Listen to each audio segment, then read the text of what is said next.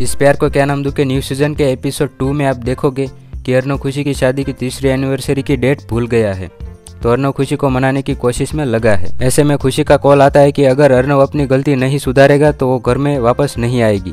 तो आगे आप देखो कि अर्नव को खुशी को मनाने के लिए क्या क्या करना पड़ता है। तो साथ में पुरानी स्टोरी भी बताता है कि खुशी ने पहली बार कैसे अर्नव को हंसाया था। तभी आकाश आता है और खुशखबरी देता है कि पायल माँ बनने वाली है। और अर्नव को भी बोलता है कि तुम भी खुशखबरी सुना दो।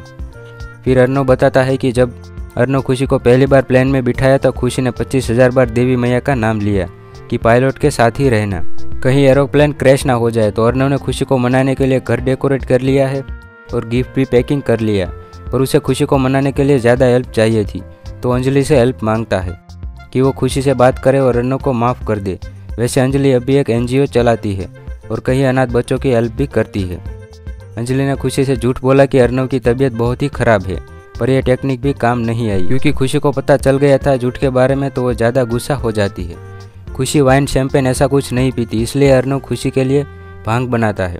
उसे याद है लास्ट टाइम जब खुशी ने भाँग पीकर कैसे पागलपंती की थी, और अर्नव खुशी के लिए एक रोमांटिक आर्ट भी बनाता है, ताकि खुशी को इम्प्रेस कर सके। और अब तीसरी एनिवर्सरी है तो खुशी को प्रपोज करने का भी प्लान बनाता है, पर जब अर्नव प्रेशर में होता है तो उसके लिए ईजी हो जाता है। जैसे वो गुंडों वाला माहौल था तो उसमें वो इजीली प्रपोज कर सकता था। लेकिन नॉर्मल सिचुएशन में खुशी को आई लव बोलना उसके लिए बहुत ही मुश्किल है। ऊपर से खुशी को अर्नव की बीमारी का झूठ पता चलता है तो वो मनोरमा को अर्नव पर नज़र रखने के लिए भेज देता है। दरवाजे की घंटी बजी तो अर्नव को लगा खुशी घर आई होगी, लेकिन दरवाजे पर तो मनोरमा थी। तो अर्नव कहता है, तुम दोनों में तो इतनी बनती नहीं थी, अब कैसे दोस्त बन गए? तो वो कहानी बताती है, लेकिन खुशी अब गुस्से में घर आ रही है। देखते हैं अर्नव कैसे उसे हैंडल करता है। तो मिलते हैं नेक्स्ट वीडियो में तब तक चैनल को सब्सक्राइब कर लीजिए।